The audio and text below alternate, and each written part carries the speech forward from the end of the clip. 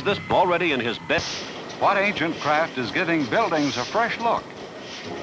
Who's putting aluminum into the softest of fabrics? How did an ailing town restore its own vitality? Industry on Parade.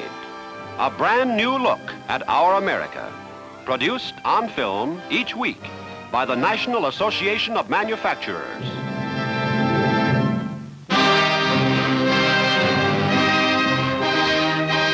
Disastrous fire kills scores, injures hundreds. Explosion jams hospitals. Schools and churches thrown open as emergency first aid centers. Headlines like those are mercifully few, but they still do crop up periodically. Here's a company in Albany, New York, that may have at least a partial answer to the inadequacy of our preparations for catastrophes. It's the Simmons Machine Tool Corporation, big rebuilder of heavy machinery. In addition to its other lines, now it's also turning out for civil defense agencies something called the litter cot, a combination of cot and stretcher. The light metal frame makes it easily portable for use as a stretcher, and the fold-down legs also permit its use as a cot. But the special advantage is that the legs are so constructed that the cots can be stacked one on top of another to form tiers of bunks. Folded and boxed, they're stored away in a minimum of space. We hope never to be used.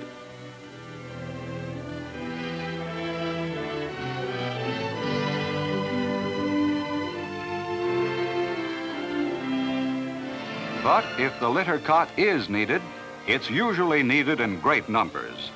Civil defense workers show us how it would be utilized in event of atomic devastation.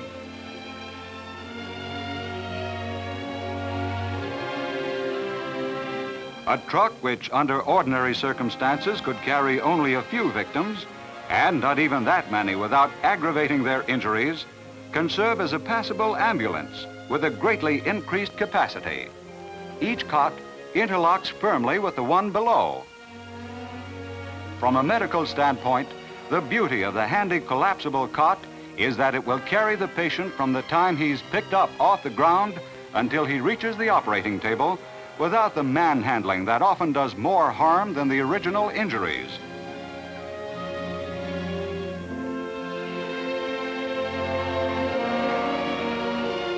In vehicles like railroad cars, special supports can be used to keep the tier of cots from toppling over.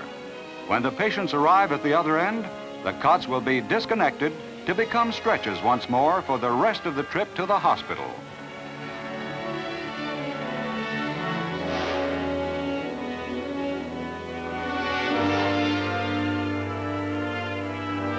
The hospital can quickly quadruple its capacity by replacing beds with stacks of the cots.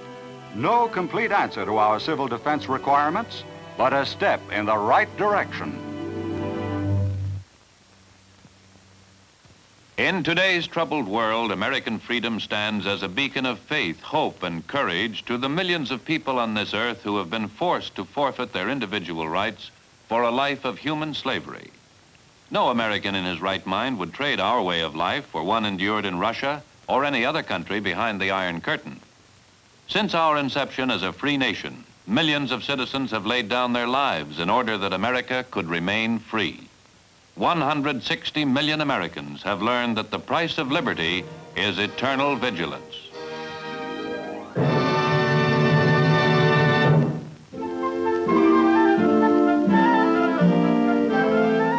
Industry on Parade visits Paramount, California, and the Pacific Tile and Porcelain Company to learn what's new in ceramic tile. That is, the colorful decorative tile as distinguished from the solid color variety. What's new is a method of mass producing the tile, formerly made only by hand. A method that, like others developed in the building industries, is helping to push quality steadily upward and costs steadily down. To begin with, the mixture of clay, talc, water, and other ingredients is pressed into tile shape by machine, but a machine that still requires the attention of highly skilled attendants.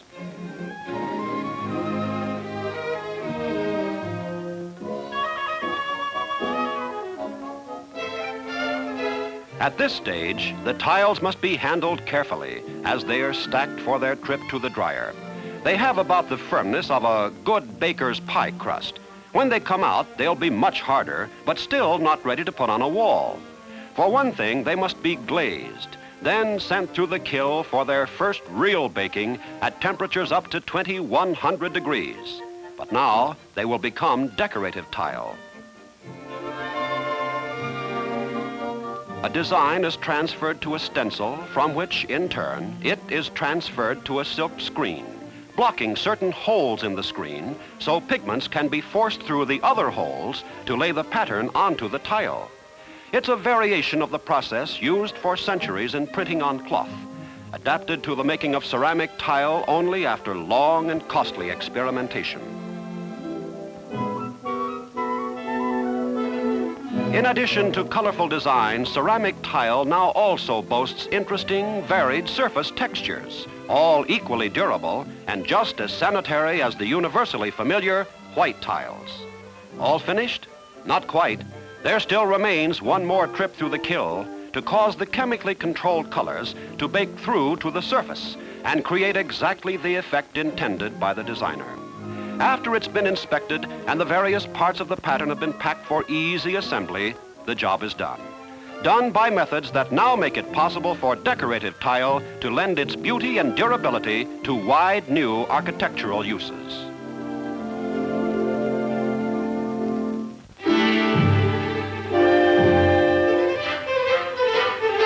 A new application of aluminum. These rolls of metal foil will actually be transformed into yarn for use in fabrics, as we're about to see here at the Stamford, Connecticut plant of one of the companies producing such yarn, the Metlon Corporation. First step is to laminate aluminum foil between two layers of the transparent plastic acetate. The colorless acetate is tinted to let the metallic sheen of the aluminum come through in any of a number of hues. Nothing new about metallic yarns. The ancients wove cloth out of gold and silver. But those old fabrics were expensive and stiff, and they tarnished quickly. Now aluminum has eliminated the stiffness and expensiveness, while the acetate surface has put an end to tarnishing.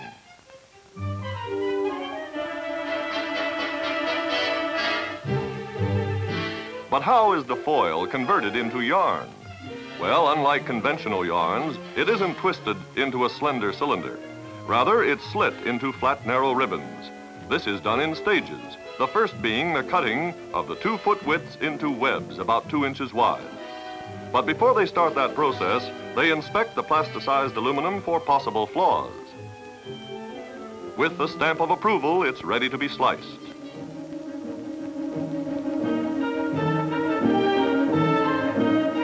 The web is sent to Metlon's Providence, Rhode Island plant to be further slit into the final yarn, which can range in width down to a 120th of an inch. The most generally used width is a 64th of an inch, one pound of which will stretch five miles. Quite a contrast to the very heavy metallic cloth of olden days. Here the yarn is wound on spools to go onto the looms of textile mills all over the land. Some wonderful things happening in America's textile industry these days. Special treatments for traditional fibers to give them properties they never had before. Amazing new synthetics. Now, brilliant, color-fast yarns of metal. One more result of never-ending industrial research.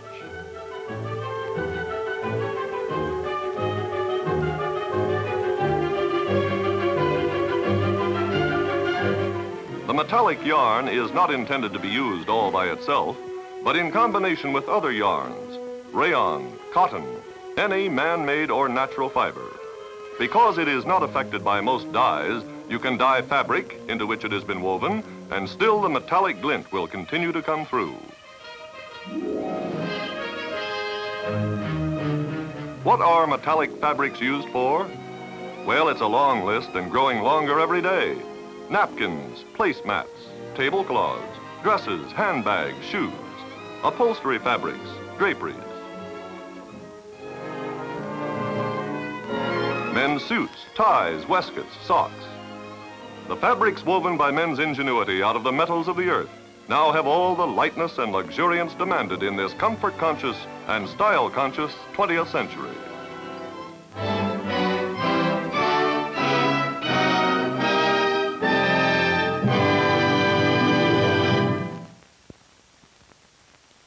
Since Americans enjoy the highest standard of living in the world, we must make sure that any changes in our system are going to increase this standard rather than decrease it.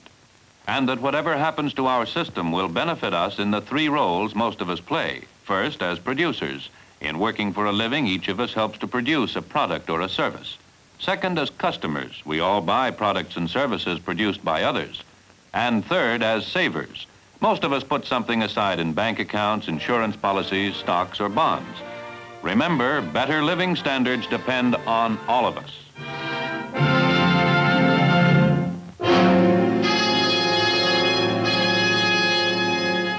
Franklin, New Hampshire, an important meeting is in progress. The matter under discussion, the very future of the city and its 6,500 inhabitants. Speakers point out that Franklin, built to accommodate paper mills, lost its original reason for being when the mills had to move away to be closer to their sources of supply. This was Daniel Webster's hometown, so oratory is highly regarded and well practiced in these parts. But the meeting produces more than just talk. It produces a plan. Since a town can't exist without humming factories, and since paper making is finished here, then it's up to Franklin to bring in other industries. A non-profit company is formed Franklin Developments Incorporated. Public-spirited participants in the plan go out and talk to other citizens like trucker Bob Crowley, persuading them to participate too by buying stock in the corporation or by donating land on which new factories can be constructed. Hundreds of people also offered their time and labor to help put up the factory buildings when the money was raised. And raised it was, $30,000 in just a few weeks.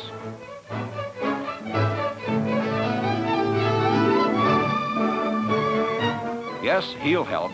His existence, too, like that of the filling station operator, depends upon a community that's economically healthy. It was everyone's problem, and just about everyone came through. And so with the money, materials, land, and labor contributed, they put up two new factories, renovated a couple of older ones, and spread the word far and wide that Franklin was looking for new industrial neighbors.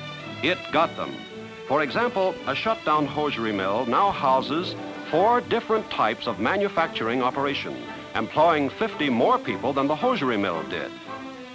Factories hum once more in Franklin, turning out a diversified line of products, infusing new life into a town that was virtually dead, but refused to lie down.